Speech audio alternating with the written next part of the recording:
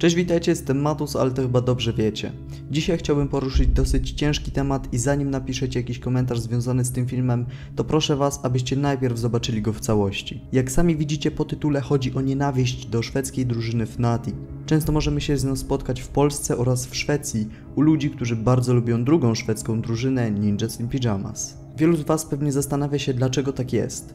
Niedoinformowane osoby powiedzą, że Polacy, oczywiście nie mówię tutaj o wszystkich, nie lubią Fnatic z tego powodu, że ciągle w ważnych turniejach Virtus Pro przegrywa z nimi odpadając z zawodów, albo innym powodem jest to, że twierdzą, że kilku zawodników z drużyny Fnatic gra na cheatach. Teraz może was trochę zaskoczę, ale tak nie jest. W tym filmie chciałem wam trochę przedstawić jak to wygląda z innej strony. So Olaf, that was stressful. It was emotional to watch. What was it like to play? Come on, there's only great games here. We don't have booing in esports. No booing in esports. Olaf, talk to me. What was it like to play in that match? It was a great thing to watch.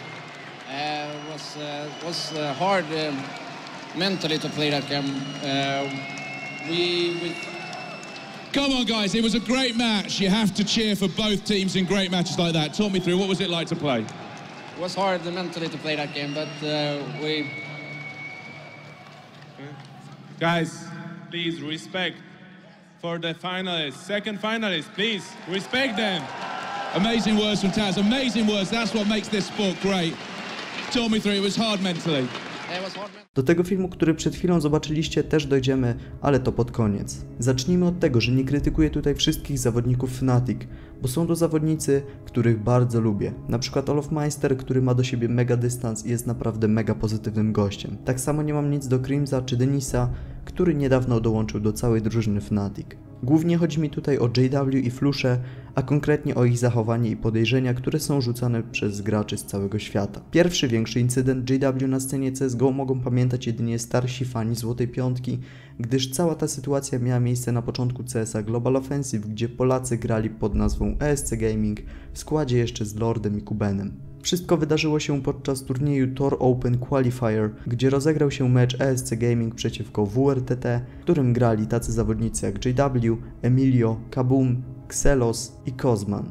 Podczas starcia na naszą polską formację drużyna WRTT wygrała z rodakami 16 do 0. ESC postanowiło zgłosić WRTT za podejrzenie cheatów podczas turnieju. Organizatorzy konkretnych dowodów nie zdobyli, jednak ostatecznie przez zgłoszenia ESC Gaming i Ninjas in Pyjamas WRTT zostało zdyskwalifikowane z turnieju. Na YouTube jest nawet film, w którym widać kilka niby dziwnych akcji, ale to czy był to zwykły fart czy hacks, to pozostawiam do waszej opinii. W 2014 roku, czyli niecałe dwa lata po tym całym incydencie, Emilio podczas Fragbite Masters dostaje Wagbana za oczywiście cheaty. Did Emilio just get back banned? Opinia o JW nie była zbyt dobra i podczas jednego ze streamów przez sekundę kilka osób zauważyło dziwny program, który był podobny do jakiegoś cheata. JW pytanie kilkukrotnie na czacie o ten program, zawsze zmieniał temat i wywijał się od odpowiedzi. A zaraz po streamie usunął całe zapiski z tamtego streama. Więc teoretycznie drużyna WRTT w składzie z JW mogła używać niedozwolonych programów pomagających na przykład w strzelaniu. No bo skoro robili to trochę później, to dlaczego nie mogliby tego robić trochę wcześniej? W 2013 roku miało miejsce kolejne dziwne zdarzenie, które moim zdaniem na takim poziomie nie powinno mieć miejsca. JW grając już w tym czasie pod barwami organizacji Fnatic, po wygraniu meczu na Ninjas in Pyjamas razem z całą drużyną nie podali ręki Getrightowi, który do nich podszedł i chciał podziękować za mecz, podając im rękę. Niestety JW, jak i cała tamtejsza drużyna Fnatic nie podziękowali za grę, spławiając Krzyśka.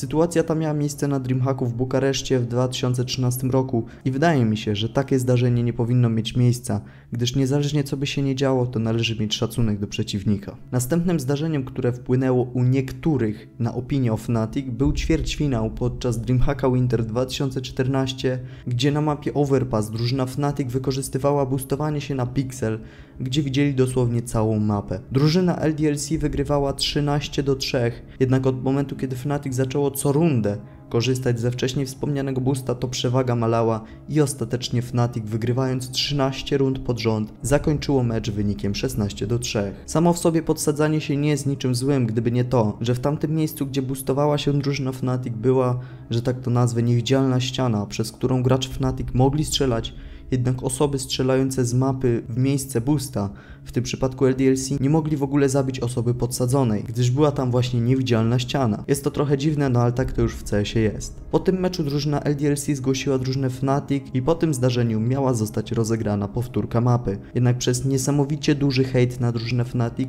cała ekipa postanowiła odpuścić ten mecz i odpadli z turnieju. Moim zdaniem w tej sytuacji zachowali się bardzo dobrze, jednak wielu fanom francuskiej drużynie LDLC pozostał pewien niesmak i dalej jest ta sytuacja niektórym z Fnatic wypominana. Od samego początku jednak istnienia tej ekipy ciągnie się za nimi taka opinia o tym, że są cheaterami i tak dalej. Na YouTubie możemy znaleźć pełno filmów, gdzie na przykład Flusza rzekomo używa wspomagaczy takich jak IMLog czy inne. To czy jest to cheat, czy zwykły fart lub lagi na GoTV zostawiam do waszej interpretacji. Cofnijmy się jednak teraz do tego filmu, który widzieliście na początku, gdzie podczas przemówienia Olofa po wygranym turnieju na ESL One Colon 2014 drużyna Fnatic została wręcz wygwizdana i dzięki naszemu Wiktorowi sytuacja została trochę uspokojona. Jednak jedna rzecz mi cały czas nie pasuje w tej sytuacji. Wiele ludzi na świecie, bo nie mówię tutaj tylko o Polakach, mówi, że to Polacy gwizdali, jak oni mogli się tak zachować, no i nawet operatorzy kamer podczas gwizdów pokazali na polską trybunę. Jak się dobrze przyjrzycie, to zobaczycie, że na filmie, gdzie są pokazani fani Virtus Pro, widać, że Polacy krzyczą głośno Virtus Pro, a nie gwizdają i buczą. Z wypowiedzi wielu ludzi, którzy byli tam na miejscu, możemy się dowiedzieć, że w głównej mierze gwizdali fani Nipu którzy jak po tym filmie widzicie, mieli wiele nieprzyjemności z drużyną Fnatic. Pomimo tych wszystkich incydentów drużynie Fnatic, jak i każdej innej, należy się szacunek i nigdy zwycięzcy tak wielkiego turnieju nie powinni być wygwizdani. Pomimo tych wszystkich incydentów, drużynie Fnatic, jak i każdej innej, należy się szacunek i nigdy zwycięzcy tak wielkiego turnieju nie powinni zostać wygwizdani. Wszyscy z drużyny Fnatic są wielkimi talentami, którzy świetnie czują grę i grają niesamowicie na słuch, co możemy zobaczyć chociażby po tej akcji na IEMie w 2016 roku w Katowicach, gdzie Olof zabił w sytuacji 1 na 1 Taza, którego wydaje mi się usłyszał jedynie przez rzucenie granatu, no albo oczywiście przez zwykłe ludzkie szczęście. To już na tyle, co chciałbym wam przekazać w tym filmie i mam nadzieję, że teraz niektóre osoby zrozumieją fakt, że są osoby, które nie przepadają za drużyną Fnatic i mają ku temu różne powody, a nie przez to, że po prostu wygrywają z naszą dumą Virtus Pro. Oczywiście nie powiedziałem tutaj o wszystkich sytuacjach, bo jest ich po prostu za dużo, ale takie mniejsze przypały zdarzały się każdej drużynie. Mam nadzieję, że film Wam się spodobał. Jeśli tak, to nie zapomnijcie zostawić łapki w górę, no i zasubskrybować mojego kanału, aby być na bieżąco ze wszystkimi filmami, jakie tylko wrzucę. Jeśli chcecie być na bieżąco jeszcze bardziej, to zapraszam na moje social media, które macie tam na dole. Matus, YouTube, fanpage, no i Instagram, Face, Snapchat i tak dalej, więc zapraszam, wbijajcie i na razie, pa pa!